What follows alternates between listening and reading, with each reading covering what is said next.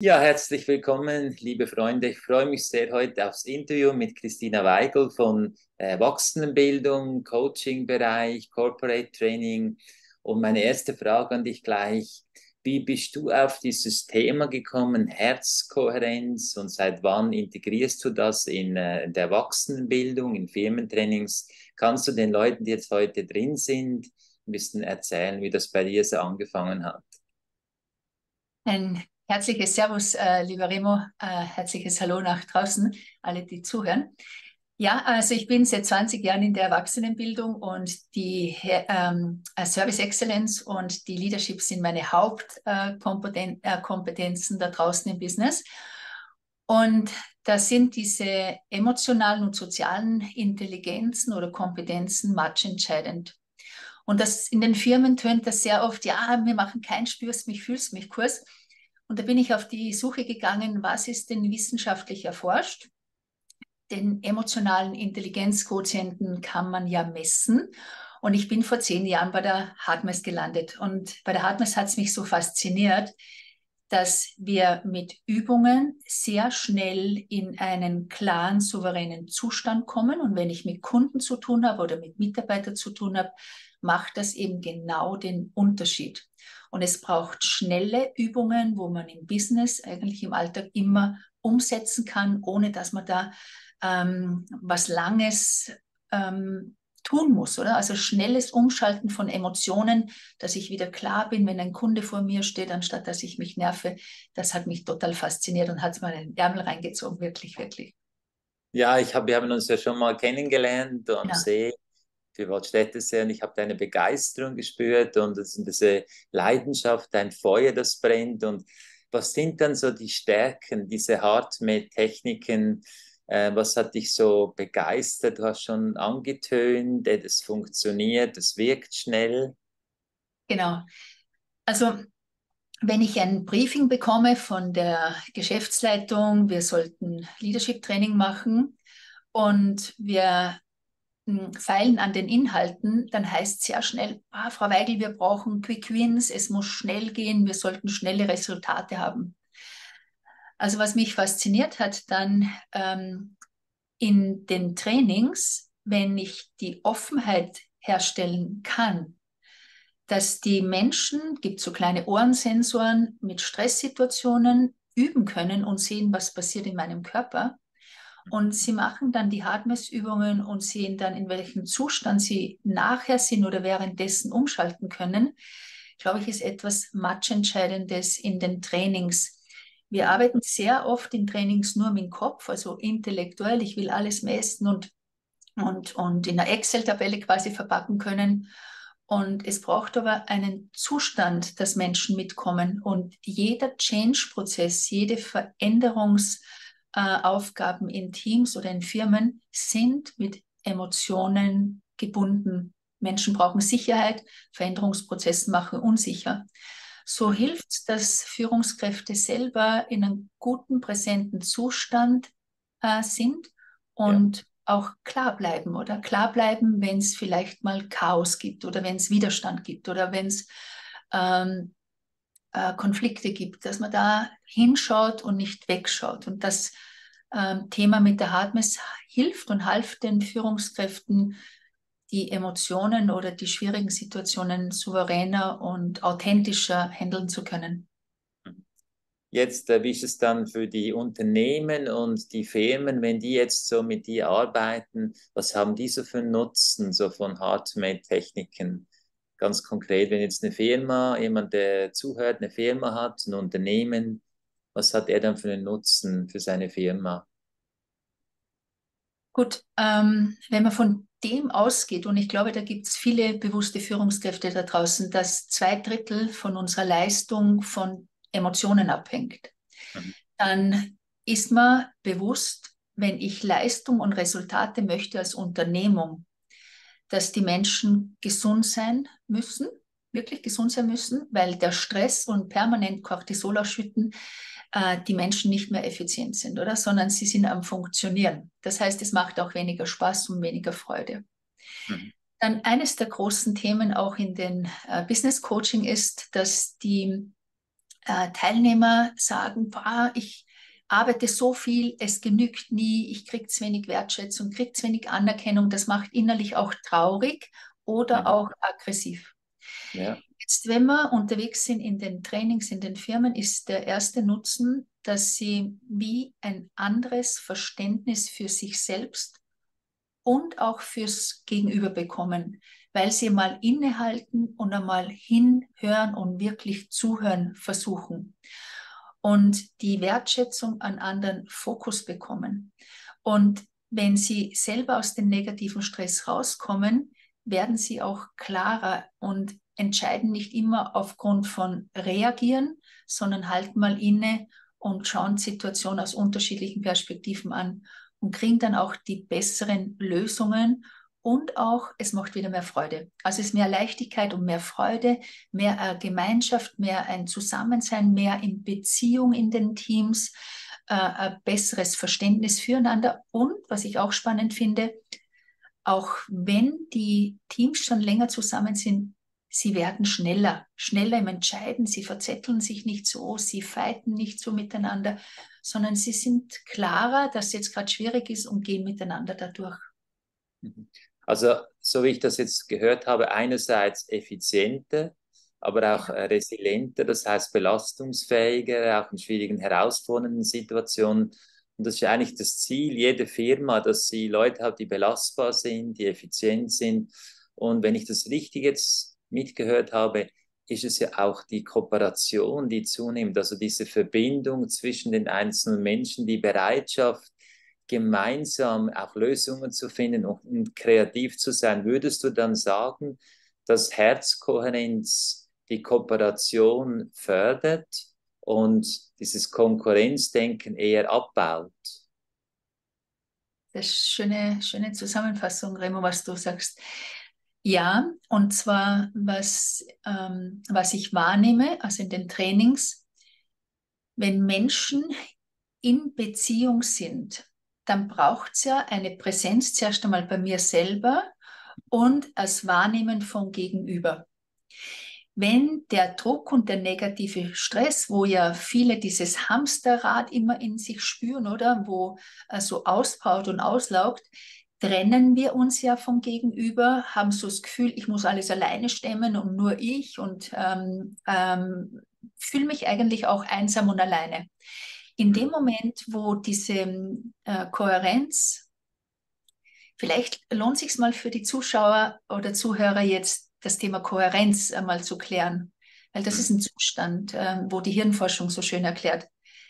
Ein kohärenter Zustand, da fühlt sich's so an in unserem Körper, mein Geist, mein Körper, meine Emotionen, ich bin in Beziehung mit mir, ich bin verbunden mit mir, ich bin verbunden mit dir, also mit dem Gegenüber, ich höre wirklich zu und ich bin verbunden wie mit was Ganzen, oder? Also das heißt, es fühlt sich so stimmig an und viele sagen, das ist ein Flow-Zustand.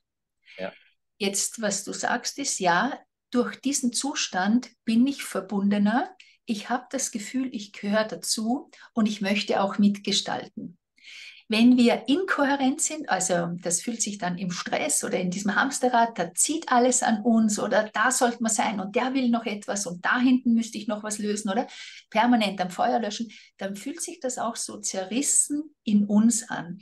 Und dieser kohärente Zustand äh, fördert die, äh, die Präsenz, aber auch das Gemeinsame. Und ich glaube, in Beziehung zu sein, ist wirklich, wirklich essentiell, dass Menschen äh, gerne mitziehen mit den Zielen und den Visionen der Unternehmung. Ja, sehr schön. Also ich habe jetzt gerade so dieses Bild gehabt vom Ich ins Wir, von der Ich-bezogenen, mhm. auch dem Getrenntsein. Eben, ich habe keine Zeit, sondern wir finden eine Lösung.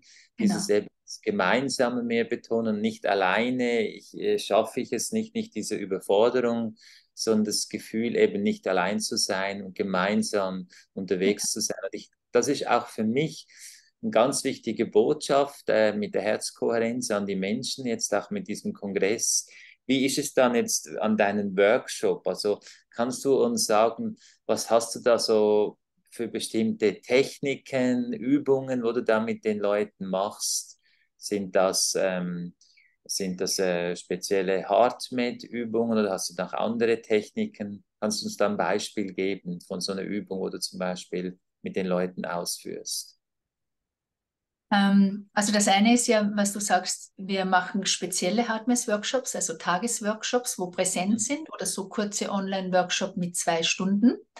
Und dort lernen wir die Übungen. Aber mhm. die Leute arbeiten auch mit konkreten Stresssituationen, wo es ihnen nicht mehr gut geht, wo sie in den negativen Emotionen sind. Jetzt weiß ich nicht, ähm, vielleicht lohnt, ich, ich erzähle mal eine Geschichte dazu, vielleicht lassen wir, ja, lassen gerne, ja. weil das Geschichten bleiben uns besser in unserem Hirn. Wenn Menschen so im Stress sind, ist diese Geschichte von Loslassen vielleicht ähm, spannend. Da sind zwei Mönche auf einer Wanderschaft zurück ins Kloster und sie kommen an einen Fluss und der ist sehr reißend und dort steht eine junge Frau, die, will, die will auch über den Fluss. Und, aber das Wasser ist so tief, dass sie nicht rüberkommt, ohne dass die Kleider zu beschädigen sind. Also das heißt, nimmt der ältere Mönch die Frau auf die Schultern, trägt sie rüber und drüben ist sie äh, trocken und geht weiter. Der jüngere Mönch geht auch über den Fluss und dann sind sie schweigend auf dieser Wanderschaft. Und nach zwei Stunden ungefähr regt sich der junge Mönch so auf und sagt, du weißt, wir dürfen nichts mit Frauen machen, du darfst sie nicht berühren, oder? Wie konntest du nur so gegen dieses äh, Verbot äh, äh, äh, stoßen? Und der ältere Mönch horcht den Jungen ruhig zu und sagt, schau mal, ich habe die junge Frau vor zwei Stunden am Fluss abgesetzt. Wieso trägst du sie denn noch immer mit dir rum? Und jetzt Übertragen auf den Business-Kontext, wenn wir in einem Meeting sind um 9 Uhr morgens, ist irgendetwas Schwieriges, ich werde beschuldigt für etwas, wo vielleicht nicht mein Thema ist oder? Ich nerv mich, ich ärgere mich. Und jetzt ist vielleicht 2 Uhr nachmittags und ich sollte mich auf etwas konzentrieren oder berechnen oder ein Konzept erstellen. Und ich hänge noch immer dort hinten um 9 Uhr in dem Meeting, dann ist so die Frage, wie effizient und fokussiert war ich in der Zeit und wie viel Energie hat es mir geraubt. Ich möchte ganz kurz was teilen, vielleicht, dass es leichter ist für die Zuschauer. Wenn man diese emotionale Landkarte hier nimmt, sieht man auf der linken Seite die Felder, wo negative Emotionen ausschüttet. Also immer ist das Cortisol in unserem Körper, wie Wut ganz oben links oder Aggression oder Frust oder Panik oder Ärger oder Ohnmacht. Jetzt wenn das um 9 Uhr im Meeting war, dass ich mich ärgere und richtig ohnmächtig war, weil ich da so fremdgesteuert war und beschuldigt und beschämt wurde, und ich bleibe dort hängen, dann ist auf der linken Seite das Cortisol in meinem Körper und neben dem verliere ich Energie, powert aus. Und jetzt sollte ich mich konzentrieren. So die Idee ist in diesen Trainings, wo die Menschen lernen, nicht in der linken Landkarte so lange festzukleben, sondern in die Mitte sich durch Emotionsmanagement, durch die Hardness-Übungen die Emotionen zu steuern und wieder in einen ressourcevollen Zustand auf der rechten Seite zu kommen. Und vielleicht auf den Slides sieht man, zwei Drittel der Leistung hängt von den Emotionen ab. Auf der linken Seite der Landkarte verbraten wir unglaublich viel Energie und das powert aus. Und was die Forschung auch sagt, das ist auch noch unten geschrieben, wir, so wie die Schweiz, haben ganz viele Konten, oder? Ich rede dann immer von einem Emotionskonto, dass wir auf der rechten Seite dreimal mehr einzahlen müssten, sollten, damit wir langfristig auf dem Potenzial unterwegs sein können, oder? Eins zu zwei wäre das Verhältnis im Balance, aber eins zu drei. So ist äh, jedes Mal, wenn, stopp das wieder, jedes Mal, wenn die Menschen in diesen Hardmess-Übungen unterwegs sind, zahlen sie auf den Emotionskonto rechts ein und dann sind die am Abend nicht so ausgepowert und haben auch noch Kraft für den Abend. Und der Online-Workshop ist ja nur zwei Stunden, da lernen wir einfach zwei Basisübungen. So ist die Frage, glaubst du, Sie wären bereit, da draußen ähm, so eine halbe Minute die Basisübung von der Hardmess auszutesten?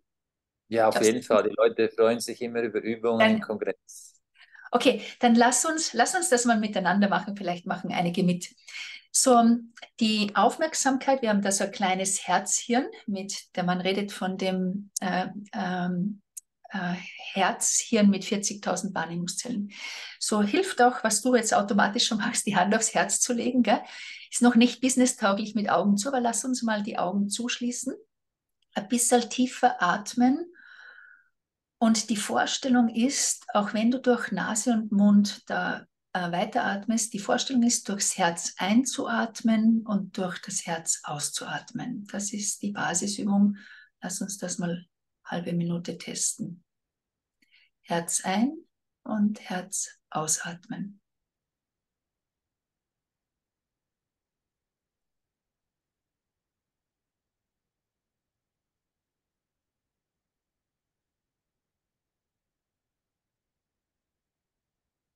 Und wenn der Geist abschwirrt, gleich wieder zurück, Fokus auf das Herz einatmen, Herz ausatmen.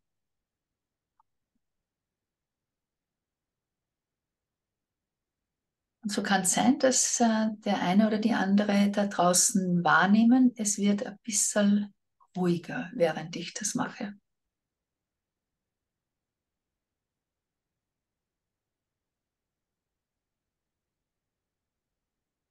Dann einen guten Abschluss machen, weil wir ja in einem Kongress sind. Gell?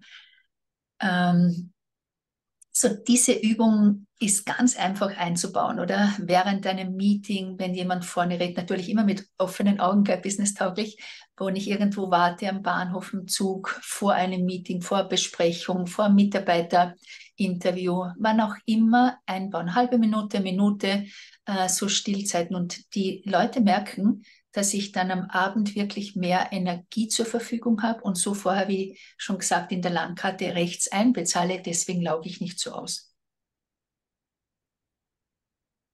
Super, Übung. Also ich, ich äh, bin begeistert von dieser Einfachheit, auch von den Heartmate-Übungen jetzt.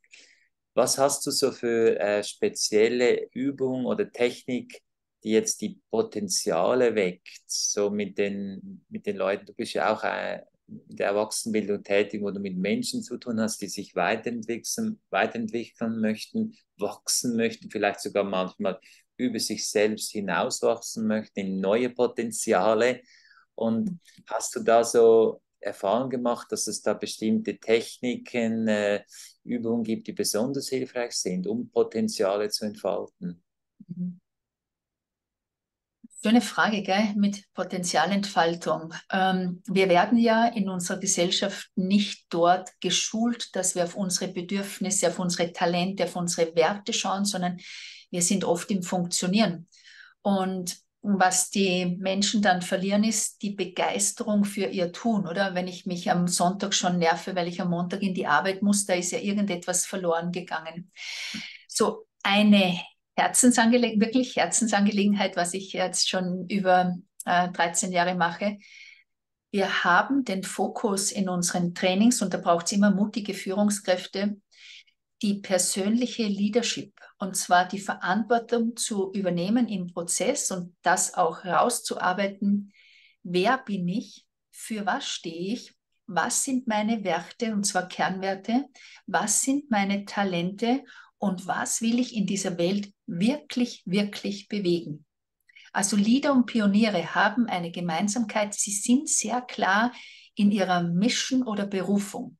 Und ich glaube, wenn es äh, Firmen gelingt, die Berufung von einem Menschen, von einem Mitarbeiter mit der Vision von einer Firma zu verknüpfen, und zwar emotional, das sind die Kulturen, wo Menschen wirklich auch gesehen werden.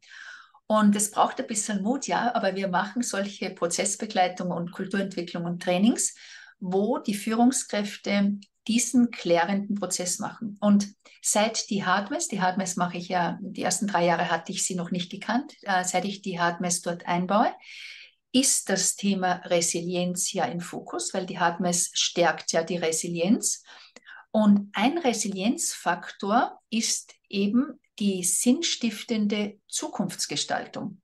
Also wenn Menschen wo unterwegs sein können, wo sie gesehen werden für ihren Beitrag, ist die Effizienz und die Leistung und die Begeisterung und die Freude ganz anders verknüpft. Also wenn Führungskräfte eine Kultur entwickeln in ihrem Team oder ihrer Unternehmung, dass sie Menschen wirklich sehen in dieser Berufung und die Wertschätzung und die Entwicklung dieser Potenziale ähm, die Priorität geben, dann sind die Firmen anders unterwegs. Und deswegen sind sehr oft sehr gute Firmen bei uns äh, im Training, weil sie ein Bewusstsein bereits haben, dass die Potenzialentwicklung dort anfängt und dass das nicht eine private Angelegenheit ist, oder?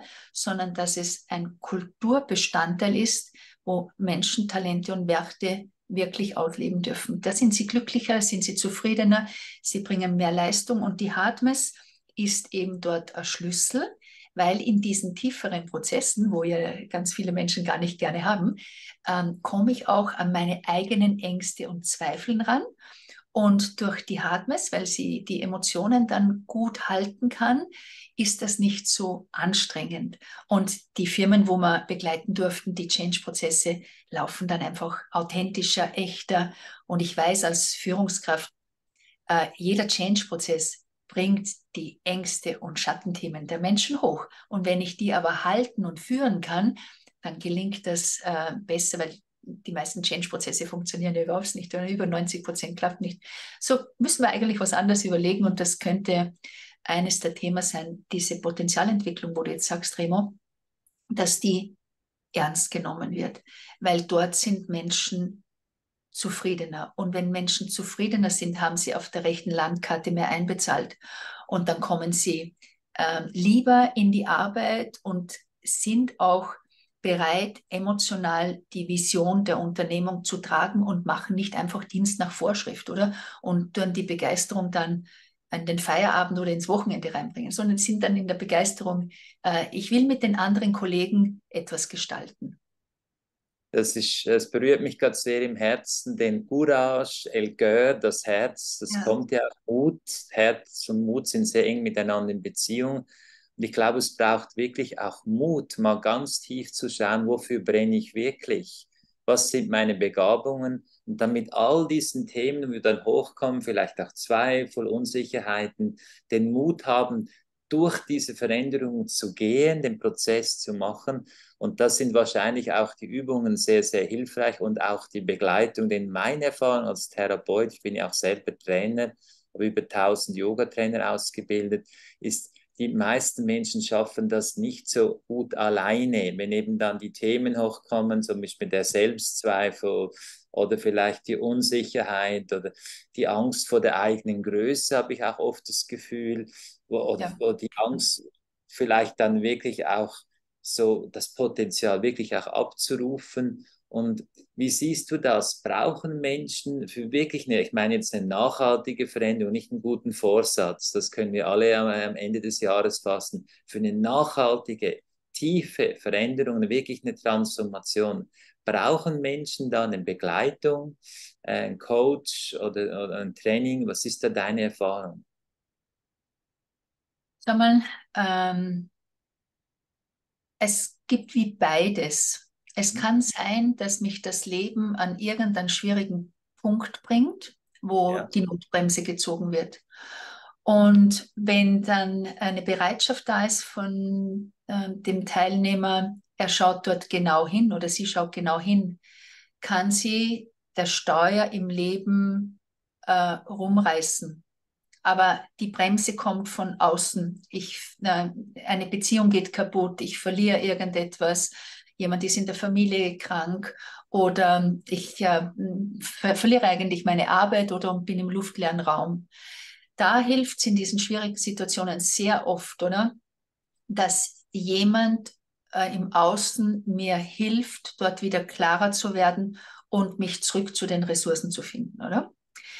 Ähm, das andere ist aber auch, es kann einfach gehen, indem ich einfach ein Umfeld habe, wo man sich miteinander auf den Weg macht und sagt, okay, so wie es jetzt geht, das geht nicht mehr. Lass uns miteinander was gestalten. Also nicht aus dem Schmerz oder aus einer schwierigen Situation, sondern einfach aufgrund von Lust, ich möchte gemeinsam etwas in die Welt tragen oder dass ich am Ende meines Lebens meine Geschichten schreibe und nicht am Beifahrersitz sitze und das Leben eines anderen lebe, oder? Weil äh, das Leben ist endlich, oder? Je älter wir werden, desto mehr merke ich, oder will ich, ich will aus diesem Hamsterrad raussteigen, aber die Frage ist ja dann, was ist denn das Neue, was ich gestalten möchte? Und meine Erfahrung ist, ich bin ja selber schon äh, über, über 25 Jahre in diesem Coach, ich gehe regelmäßig in diese Prozesse rein, um für mich immer wieder klarer zu sein, oder? Weil ich selber wie betriebsblind bin für mein System, brauche ich an anderen, ich kann zwar alle coachen, oder? Aber mich selber hilft es immer, wenn ich mit anderen in die Prozesse gehe. So, glaube ich, braucht es beides, oder? Ein Teil können wir selber machen und ein Teil, wie du sagst, braucht es eben äh, Ruhe, oder? Du bietest ja auch Retreats an, wo es ruhig ist, wo still wird, weil die Antworten sind ja in uns. So braucht man vielleicht wie die Erlaubnis, in die Stille zu gehen und mal gar nichts zu tun und im Sein zu sein und auf das Herz zu hören, ja, was will denn eigentlich mein Herz? Weil mein Kopf weiß ja den ganzen Tag, was er will, oder? Aber es will das Herz. Ja, das hast du mir jetzt gerade aus dem Herzen gesprochen. Denn so vor einigen Jahren, als ich intensiver mich mit dem Herzthema befasst habe, in der Meditation auch, habe ich gespürt, dass ich zu viel im Erfolgsrat bin und dass ich eigentlich mein Herz möchte lieber in die Erfüllung gehen. Also das heißt, dass der Erfolg gar nicht mehr so wichtig ist an einem gewissen Punkt, weil ich bin natürlich dankbar für allen Erfolg, den ich erreicht habe, geschenkt bekommen habe, aber das ist eigentlich mein Herz, die ja. Erfüllung und auch diese Kongressen jetzt mit dir im Gespräch zu sein, mit so vielen tollen Menschen, dieses Herzfeld zu weiten, das erfüllt mich unglaublich und das finde ich ganz wichtig, dass jetzt alle, die zuhören, dass wir uns immer wieder die Frage stellen, was erfüllt mich?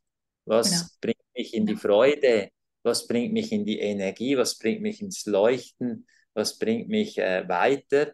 Und wenn wir uns diese Frage, das kann sich ja auch verändern, immer wieder neu stellen, dann bin ich überzeugt und habe das auch erfahren, dann können wir viel mehr Potenziale, Begabungen entfalten, die wir ja alle, wie du schon schön formuliert hast, eigentlich sind die ja schon in uns, die warten nur darauf, erweckt, entfaltet ja. zu werden. Ja. Ja. Und also mich hat es jetzt sehr berührt auch, eben das sowohl als auch. Also es kann durch Schmerz kommen, schmerzvolle Erfahrung. Es kann aber auch durch ein Bedürfnis kommen, indem wir einfach mehr in Verbindung kommen und spüren, ah, da ist noch die Erfüllung. Vor allem, wenn man vielleicht ab 50, äh, Rüdiger Dahlk hat mal gesagt, wenn man mit 50 immer noch dem Erfolg nachrennt, dann schießt man nur Eigentore, weil man dann mal die, halbe, äh, die Seiten wechseln sollten, ja. ab 50 mehr nach innen, nicht mehr nur nach außen zu leben. Und das mhm. ist mir geblieben, den Seitenwechsel. Und ich würde jetzt auch gerne einen, Wechsel machen, so von unserem äh, Gespräch in eine Übung, denn ich habe so jetzt einfach das Gefühl, eine, eine ganz äh, tolle Sache wäre jetzt noch so eine Übung von dir, die Gerne. du uns anleiten kannst ähm, genau das zu erfahren, wo wir jetzt auch darüber geredet haben, diese Herzkohärenz. Gerne. Ähm, warte, lass mich überlegen. Remo, darf ich? Äh, das, was äh, du hast jetzt gerade ja vorher, ich zeige kurz etwas, du hast vorher von dem Feld geredet, gell? Ja. Ich zeige vielleicht, bevor wir die Übung machen, ähm, warum es sich lohnt, ähm, das dann zu tun. Du siehst jetzt dieses Feld, von dem du geredet hast, gell? sichtbar, gell? Das ja. elektromagnetische Feld. Wenn wir jetzt äh, uns mal vorstellen, in dieser Welt hätte das, ähm, wo du sagst, die Seiten gewechselt, gell? die Seiten gewechselt. Das Business ist ja noch die Bastion, wo das Herz außen vor ist. Jetzt, wenn wir mal uns vorstellen, ich weiß nicht, ob du dich erinnern kannst, wie du das letzte Mal verliebt warst, und ähm, wenn wir verliebt sind oder kohärent sind, ich sage jetzt mal, wenn der Blaue hier kohärent ist, oder und denkt an etwas, für das er dankbar ist oder erfüllt ist, du hast jetzt von Erfüllung geredet oder erfreut ist. Und dieser blaue Mensch ist eine Führungskraft und er leitet jetzt ein Meeting in diesem Zustand, ja? Hat er mit seinem Feld eine Auswirkung auf diese rechte Seite und steckt mit dieser äh, Erfüllung oder Dankbarkeit oder Zufriedenheit an? Also mal angenommen, eine Führungskraft würde in diesen verliebten Zustand in ein Meeting reingehen, oder? Dann wird das anders ansteckend sein. Jetzt, was wir für Übung machen, oder? Weil ich glaube noch immer, dass das Herz ein bisschen außen vor ist in unserer Wirtschaft und in unserer Businesswelt. Aber es ist ein Zustand. Also diese Felder von Erfülltsein, Zufriedensein, Wertschätzendsein, im Mitgefühlsein, diese Felder stecken in beide Richtungen an. Also wenn eine Führungskraft, die blaue noch immer, äh, im Stress ist oder in der Aggression und führt so ein Meeting, sind die Teilnehmer dann ausgepowert, wenn sie rausgehen aus dem Meeting. So, was wir jetzt machen ist mit dieser Übung, sie heißt Quick Coherence oder äh, schnelle Kohärenz, dass wir das Feld immer wieder äh, in uns und fürs Außen erstellen können, dass diese Zufriedenheit oder diese Dankbarkeit dann ansteckt. Ich stoppe uns da mal. Jetzt für die Zuschauer von außen, wo von Anfang an dabei waren, die Basisübung ist noch immer das gleiche. Wir machen das jetzt zum Schluss mit der Quick-Kohärenz. Ah, du machst, machst ja so schön automatisch die Hand aufs Herz, gell? Es tut so gut. Ähm, die, ich erkläre es zuerst, bevor wir es tun. Die Übung ist noch immer das Herz einatmen, vorstellen und das Herz ausatmen, vorstellen. Und dann etwas wählen, für das Sie dankbar sind. Und versuchen aber mit dem Kopf nicht rumzuswitchen, sondern bei einer Dankbarkeitssituation zu bleiben. Und lass uns das vielleicht eine Minute oder so, gute Minute machen. Und den Menschen hilft zum Anfang beim Üben, dass sie die Augen zuschließen. Ist noch nicht äh, sitzungstauglich in einem Business, oder aber zum Üben reicht es jetzt. So, die Bitte ist, die Augen zu schließen für einen Augenblick. Hm, vielleicht tut es gut, die Hand aufs Herz zu nehmen. Ein bisschen tiefer und langsamer zu atmen. In der Vorstellung, ich kann durchs Herz einatmen durchs Herz ausatmen.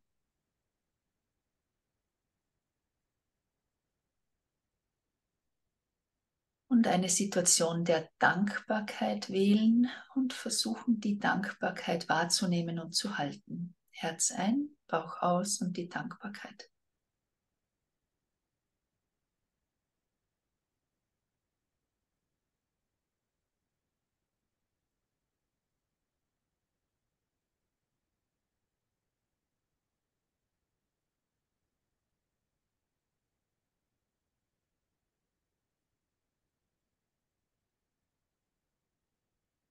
Falls der Geist springt von Dankbarkeit zu Dankbarkeit, wieder zurück zum Herz. Herz einatmen, Herz ausatmen und eine Dankbarkeitssituation wahrnehmen.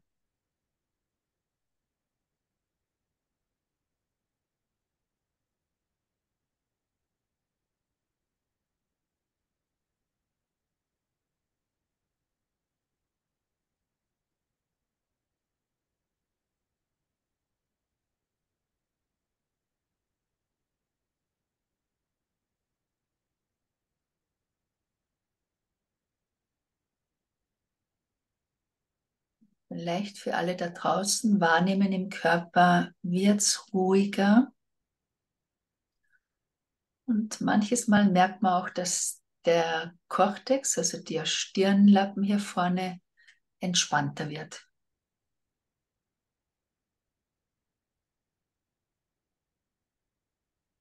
Herz einatmen, Herz ausatmen, die Dankbarkeit.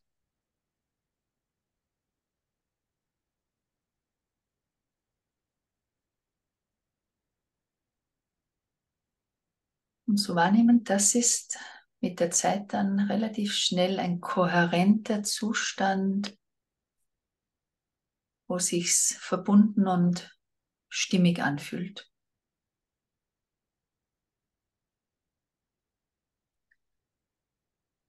Ja, und das gut wieder abrunden, abschließen. Und wenn Sie parat sind, wieder die Augen zu öffnen, um in den Kongress zurückzukommen. Ja, vielen Dank. Ich bin immer wieder geflasht, berührt von diesem Dankbarkeitsgefühl. Ich habe das Gefühl, das bringt mich immer gerade sofort ins Herz. Es ist einfach eine ganz hohe Frequenz, die Dankbarkeit. Ich habe das auch schon in Studien gelesen, dass Dankbarkeit eine der höchsten Frequenzen ist. Also Vielen Dank für diese wundervolle Übung. Genau. Und die kann man überall einsetzen. Also das heißt, wenn man ein bisschen trainiert ist mit offenen Augen, man sieht es nicht, wenn man es tut. Und wenn ein Meeting so happig ist oder alles zieht an uns und wir haben wieder das Gefühl, im Hamsterrad zu sein, ganz kurz innehalten, oder? Aber das kann man auch während dem Gehen machen. Und der Körper erinnert sich an diese Dankbarkeitssituation ich habe den Zustand von Kohärenz und dann kann ich wieder besser konzentrieren oder Lösungen äh, finden, was gerade braucht. Jetzt ist mir gerade noch so in den Sinn gekommen, wenn man bewusst jemand ein Danke ausspricht, eine Wertschätzung, könnte das auch hilfreich sein, dem anderen äh, so eine Einladung zu geben ins kohärente Feld, indem man jemandem ein ganz bewusstes Danke aus dem Herzen ausspricht schöne Überlegung, Remo. Ähm, ja, wenn es authentisch ist, wenn es nicht einfach eine Floskel ist vom Kopf, oder? wenn ich es ähm, berühre, also das heißt, wenn ich dem anderen teile, warum ich dankbar bin für ihn, ist das im Feld, was wir gerade vorher angeschaut haben. Und spannend ist, ähm, wenn man die Gallup-Studie nimmt, oder der oberste Kündigungsgrund ist ja noch immer, ist ja nicht der Lohn, dass Menschen von Unternehmen rausgehen, sondern ich werde zu wenig anerkannt und wertgeschätzt. Das ist ein schöner, schöner, schöner Input, was du bringst. Das heißt, die Dankbarkeit und die Wertschätzung den Menschen zu geben, schafft da Wertschätzungskultur. Und ich glaube zum Schluss, Wertschöpfung durch Wertschätzung das funktioniert. Das funktioniert. Das glaubt man nicht, aber es funktioniert. Und dann kommen die Zahlen, wo du vorher gesagt hast, mit der Erfüllung, die Zahlen kommen von hinten.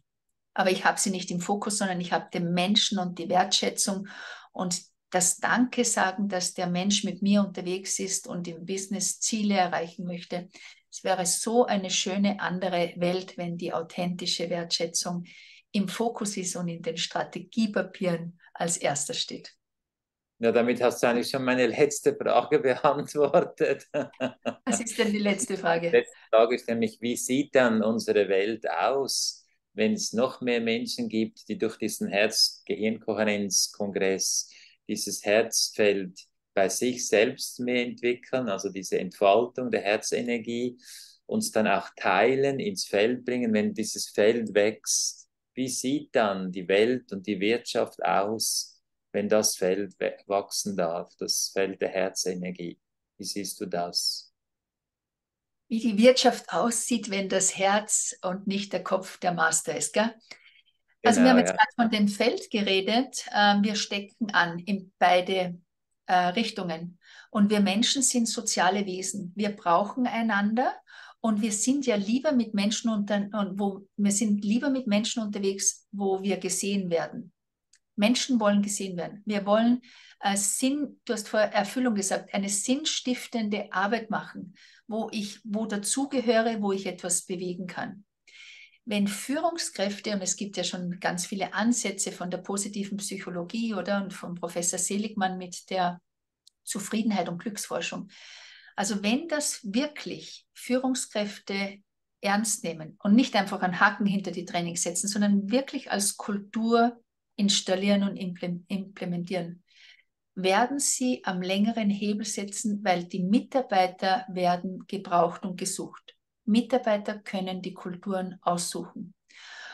Und diese bewussten jungen Menschen sind lieber unterwegs dort, wo ich Wertschätzung und Anerkennung bekomme, wo ich meine Bedürfnisse einbringen kann und nicht einfach eine Nummer bin unsere Welt, diese Felder, da ist ja in der spirituellen Szene ganz viel, wo läuft und auch von der Forschung. Du hast ja den äh, Gerald Hütter auch eingeladen, den bekannten Hirnforscher.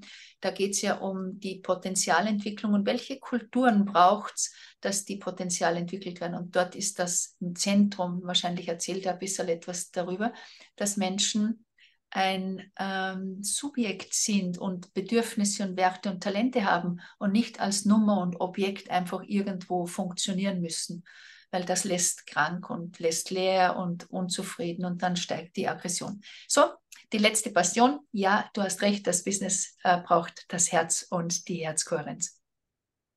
Ja, vielen Dank für diesen wundervollen Vortrag, das Interview von dir. Gerne, Hat mich gerne. sehr inspiriert und äh, danke für die wertvolle Arbeit, die du ins Business bringst, ins Corporate Training, in die Erwachsenenbildung, das schätze ich sehr, dass es, dass es solche Menschen gibt wie du, die das mit so viel Begeisterung und Freude zu vielen Menschen bringen. Herzlichen Dank. Gerne. Und vielleicht konnte man einen kleinen Impuls für alle, wo uns zuhörten, geben. Es braucht Mut, das Herz ins Business zu bringen, das Herz in den Fokus zu nehmen. Aber ich glaube, es wird lebenswerter unser Leben. Also viel Spaß weiterhin an den Kongress und alles Gute für Sie und Ihr Leben.